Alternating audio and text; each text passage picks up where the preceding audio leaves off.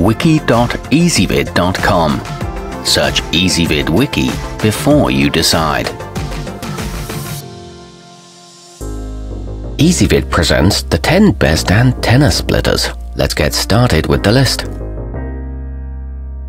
Starting off our list at number 10, the uxcell three-way adapter is an option for those who are looking for multiple splitters at a low cost. This type may help with certain complex installations, but its lack of integrated circuitry generally makes it much less reliable than more robust units. It comes in a 5-pack, however it does require an amp if reception is poor, and it can't be mounted. At number 9, the Channel Plus 2532 is a traditional bidirectional unit, which allows it to perform equally well as a combiner. Some will appreciate this versatility, but those who know they don't need this ability might prefer a more purpose-built model. It's very affordable, and a DC and IR passing version is also available, but its signal drop is more than some.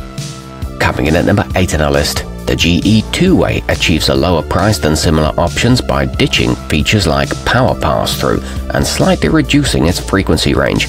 Those who don't intend to amplify its input and aren't worried about losing a few channels may find it to be a great fit. It costs less than $5 and comes in a durable nickel-plated enclosure.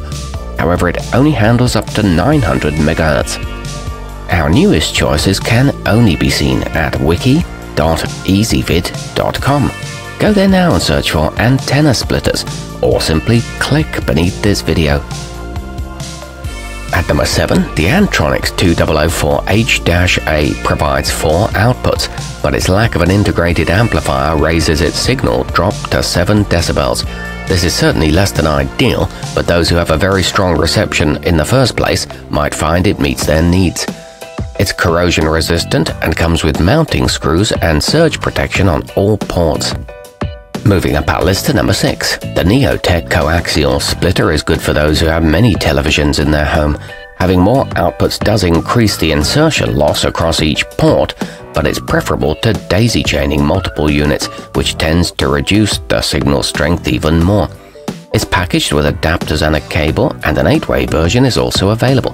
However, it may require a separate amplifier. Halfway up our list at number 5, the GE Digital 2-Way comes from a company that's been involved in television for almost 100 years. It's not powered, but it's still a versatile device that could also be used to split things like satellite or modem signals if needed. It features a wide range of 5 to 2500 MHz, gold-plated ports that resist corrosion, and a lifetime warranty. At number 4, the BAMF coax cable splitter is slightly more expensive than some other passive models, but it makes up for this with desirable attributes like a low 3.5 decibel signal loss, a wide frequency range, and a durable nickel-plated housing.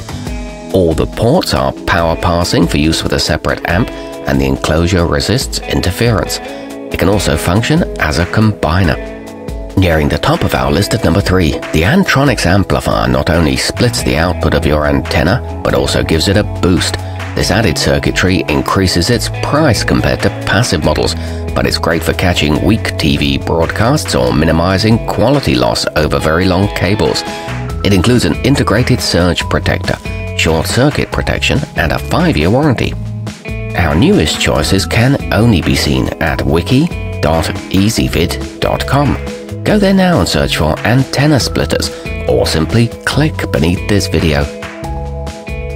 At number 2, the Channel Master Ultra Mini 2 features a smooth white powder coating that offers a hint of style and extra protection for outdoor use. It's a good choice for connecting a roof-mounted aerial to two televisions with minimal harm to its reception. It comes with water-resistant sealed ports, an AC adapter that can use any F-type cable, and a 6-foot coaxial cord. And taking the top spot on our list, despite a wildly low price, the extreme high performance sacrifices very little. The only feature it lacks compared to some more expensive passive units is DC power passing, but otherwise it has all the desirable attributes for this type of device. It suffers from minimal insertion loss and the sealed connectors block moisture. It uses SMD circuitry to minimize its size. Our newest choices can only be seen at wiki.ezvid.com. Go there now and search for antenna splitters, or simply click beneath this video.